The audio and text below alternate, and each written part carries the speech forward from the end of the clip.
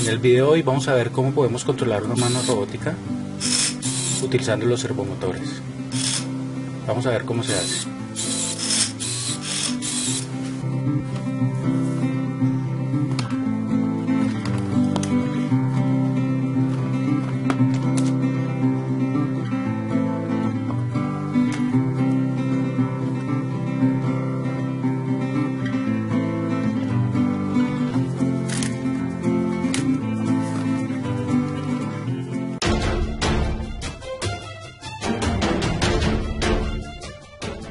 En un video anterior habíamos aprendido a hacer la estructura de la mano robótica, la cual accionábamos alando de las cuerdas aquí en la parte inferior. Les dejo el enlace del video para que primero hagan esta parte. Y ahora adicionalmente lo que hicimos fue adherirlo a un pedazo de palo al cual vamos a adherir posteriormente los motores. Debemos conectar cada uno de los dedos a uno de los servomotores. De esta forma, cuando se accione uno de los servomotores y gire 180 grados, se va a contraer la extremidad. Si se activa el otro, se va a contraer el otro dedo. Y de esta forma vamos a poder controlar nuestra mano. ¿Cómo funcionan estos servos y cómo programarlos? Ya los vimos en otra serie de videos, les voy a dejar también el enlace. Aquí vamos a observar cómo al accionarse uno de los servomotores se contraen los dedos. Y al liberarlo se devuelve. Para darle un efecto más real a la mano lo que vamos a hacer es colocarle un guante. Le calzamos el guante a cada uno de los dedos. Así nos queda mucho más real cada uno de los movimientos. El circuito ya lo habíamos visto, es el mismo que habíamos utilizado para el control de servomotor con PIC y lo único que vamos a hacerle es una variante de instalar un pulsador, un LED y una resistencia a la entrada 18 para que cuando yo prima el pulsador se encienda el LED y a su vez le mande la orden al servomotor que se mueva.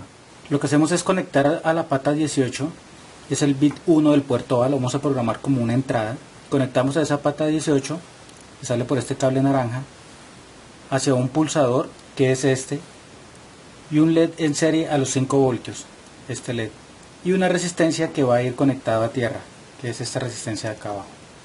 El resto del circuito permanece igual. Esto lo debemos hacer por cada uno de los dedos. Así que la entrada 18 normalmente va a estar viendo tierra a través de la resistencia de un K. Pero cuando yo oprima este pulsador va a haber continuidad y a su vez va a encender el LED de color rojo a través de esta resistencia hacia tierra y en esta entrada va a haber un positivo, un alto. Utilizamos como base el programa que ya habíamos hecho de giros de derecha a izquierda, así que lo volvemos a llamar desde Flow Code y lo que vamos a hacer ahora es habilitar la pata 18 del PIC que pertenece al puerto A al bit 1. Lo vamos a programar ahora como una entrada y dependiendo de eso me envíe los pulsos por la pata 6 que corresponde al bit 0 del puerto B. Eso ya lo teníamos programado. Aquí podemos ver que está programado las salidas por el bit 0 que corresponde a esa pata 6. Vamos a programar solo la 18 que es el puerto A bit 1 como una entrada. Escogemos una entrada y la colocamos aquí antes de empezar el bucle de 50 veces de giro hacia la izquierda. Le damos doble clic, la programamos como el puerto A que ya lo está, pero escogemos el bit 1, el bit 1 y vamos a programar una variable nueva venimos, programamos una variable nueva y la podemos llamar como entrada A1. Valor inicial queremos que esté en 0 y el tipo de variable la vamos a dejar booleana que solo tiene la opción de 1 o 0 que es o 5 voltios o tierra. Aceptamos y dejamos la variable.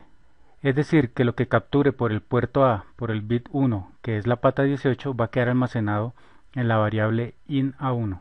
Le damos OK. Ya está definido nuestro ingreso. Ahora lo que debemos hacer es un condicional para que me gire el motor hacia la izquierda o a la derecha dependiendo de cómo vaya variando esa entrada. Cojo un condicional, aquí está y lo programo.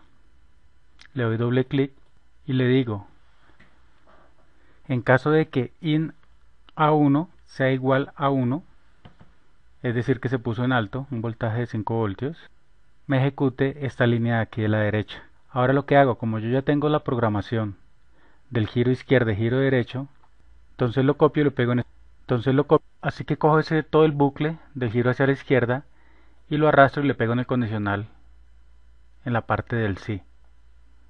Así que si por la pata 18 lo colocamos en alto, o sea un 1 o 5 voltios, viene y me hace girar el servomotor hacia la izquierda. Y si no, entonces vengo y arrastro el giro hacia la derecha y lo pego allá, lo marco y lo suelto allá adentro. Y de esta forma ya nos quedó toda la programación. El PIC va a estar monitoreando lo que pase en la entrada A1, que es la pata 18, que fue donde instalamos el pulsador, para que cuando yo lo prima coja este camino y me haga girar el motor hacia la izquierda. Y si no es así, si está en cero o está viendo tierra, me hace girar el motor hacia la izquierda. De esta misma forma, pero cambiando las salidas, recuerde que en el puerto B podemos controlar hasta 8 salidas desde RB0 hasta RB7 que podríamos controlar 8 dedos. Y como entradas como pulsadores puedo ir programando desde A0 hasta A4. O sea que tengo 5 entradas para programar que me da para cada uno de los dedos. Haciendo este mismo programa para cada uno de los dedos y variando tanto el puerto de entrada como el de salida. Espero les haya sido útil este video. Recuerden darle manito con el dedito arriba a mis videos y suscribirse a mi canal si no lo han hecho, para que no se pierdan los videos nuevos todos los miércoles.